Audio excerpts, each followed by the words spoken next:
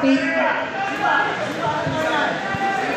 And Honorable Andre Villa Santa and Rami El Beitan, please proceed to mat 2.